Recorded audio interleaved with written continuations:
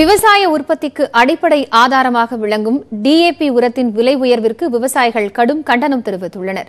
DAP உரத்தின் விலையை உர உற்பத்தியாளர்கள் மூட்டை ஒன்றுக்கு ஐநூறு முதல் எழுநூறு ரூபாய் வரை உற்ப- உயர்த்தியிருக்கின்றனர் இது காவிரி டெல்டா பாசன விவசாயிகளுக்கு பெரும் கவலையை ஏற்படுத்தியுள்ளது. டெல்டா மாவட்டங்களில் சுமார் 12 லட்சம் ஏக்கர் பரப்பளவில் நடைபெறும் நெல் விவசாயத்தில் டிஏபி உரம் முக்கிய பங்கு வகிக்கிறது. மத்திய அரசு உர உற்பத்தியாளர்களே விலையை நிர்ணயம் செய்து கொள்ளலாம் என்ற திட்டத்தை கொண்டு வந்ததன் விளைவாக தற்போது டிஏபியின் விலை கடுமையாக உயர்ந்துள்ளது. இதனால் டிஏபியில் இருந்து தயாரிக்கப்படும் கூட்டு உரங்களான யூரியா பொட்டாசியம் காம்ப்ளெக்ஸ் உள்ளிட்ட உரங்களின் விலையும் உயரும் அபாயம் ஏற்பட்டுள்ளது. உர உற்பத்தியாளர்களே விலையை நிர்ணயம் செய்து கொள்ளலாம் என்று அறிவித்துவிட்டு தற்போது மத்திய இணையமைச்சர் மன்சுக் மாண்டேவியா உர உற்பத்தியாளர்களிடம் பேச்சுவார்த்தை நடத்தப்படும் என தெரிவித்திருப்பது ஏமாற்று வேலை என விவசாயிகள் கூறுகின்றனர். விலையை நிரந்தரமாக கட்டுக்குள் கொண்டுவர மத்திய அரசு உரிய நடவடிக்கை எடுக்க வேண்டும் என்றும் அவர்கள் வலியுறுத்தியுள்ளனர். உரம் பார்த்தீங்கன்னா கடுமையான விலை ஏறி இருக்கு கிட்டத்தட்ட டிஏபி மட்டுமே எழுநூறுவா அளவுக்கு ஏறி இருக்கு ஒரு வருஷத்துலேயே எழுநூறுவாங்கிறது விவசாயிகளுக்கு பெரிய பாதிப்பை ஏற்படுத்தும். நெல்லுக்கு விலை அந்த அளவுக்கு ஏறினா தான் எங்களுக்கு கட்டுப்படி ஆகும். என்ன டிஏபி விலையெல்லாம் இப்படி ஏற்றி விட்டா விவசாயம் என்ன பண்ணுறது ரொம்ப கஷ்டமாக இருக்குது விவசாயம் பண்ணுறதால விட்டுட்டு ஓடி விடுறதா என்னன்னு தெரியாமல் ஒரு சூழ்நிலையெல்லாம் உருவாகும் போல இருக்குது எல்லாத்துக்குமே அத்தியாவசியமான பொருளாக இருக்கிறதுனால நம்ம வந்து அதை விலை குறைச்சி கொடுத்தா தேவை எங்களுக்கு. கொரோனா பரவல் அதிகரித்துள்ளதன் காரணமாக விடுமுறை நாட்களில் மெரினா கடற்கரையில் பொதுமக்களுக்கு அனுமதி இல்லை என அரசு அறிவித்துள்ள போதிலும் ஏராளமானோர் கடற்கரைக்கு வந்துள்ளனர். அவர்களை காவல்துறையினர் தடுத்து திருப்பி அனுப்பி வருகின்றனர். கூடுதல் விவரங்களோடு செய்தியாளர் கீதன் இணைகிறார். அவரோடு பேசலாம்.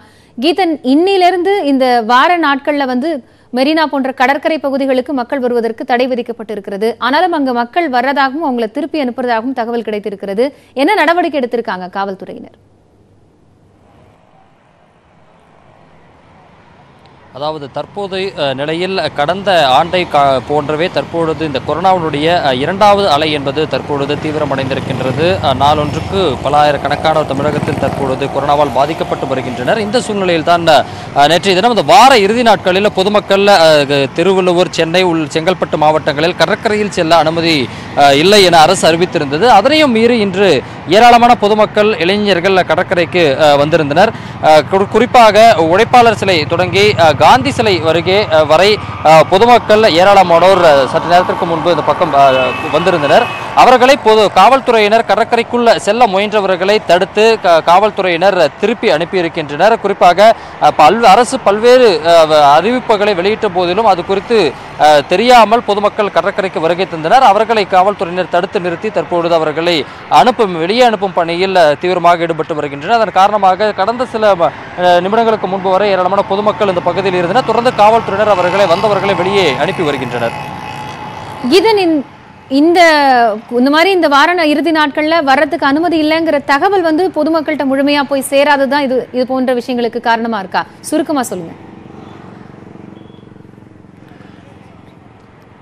அதான் நிச்சயமாக ஏனென்றால் பார்க்கின்ற பொழுது அவ்வாறு தெரிகின்றது. குடும்பம் குடும்பமாக இன்று கடற்கரைக்கு வந்தனர். அதாவது சென்னை வாசிகள் மட்டுமல்லாமல் வெளியே இருந்து வரக்கூடிய சுற்றுலா பயணிகளும் இன்று இங்கு வந்து வருகை தந்தனர். அதாவது அரசினுடைய அறிவிப்பு அவர்கள் முழுமையாக கிடைக்காத காரணத்தால் தான் கடற்கரைக்கு வந்திருந்தனர். தொடர்ந்து காவல்துறையினர் நிறுத்தப்பட்டிருக்கின்றார்கள். அவர்கள் பொதுமக்களை திருப்பி அனுப்பி வருகின்றனர்.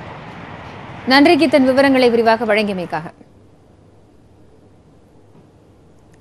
சிறிய இடைவேளைக்கு பிறகு தொடரும் மற்ற செய்திகளை பார்க்கலாம்.